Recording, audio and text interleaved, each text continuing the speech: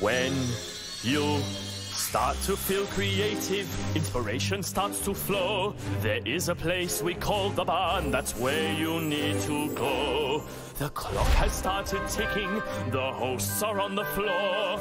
Grab yourself some tools, this challenge is hardcore. Pottery, pyrography, everything handmade. Macrame, origami, a Chris Hemsworth lampshade. Hot. We'll have cutting, painting, blowing, ceramics and fresh flowers, knitting, etching, sanding, You only had three hours. practical, fantastical creation, sometimes absurd, beautiful or useful, the lines are sometimes blurred. Vintage suitcase, coffee tables, magic paper, butterflies. Make sure your technique's perfect if you want to take first prize.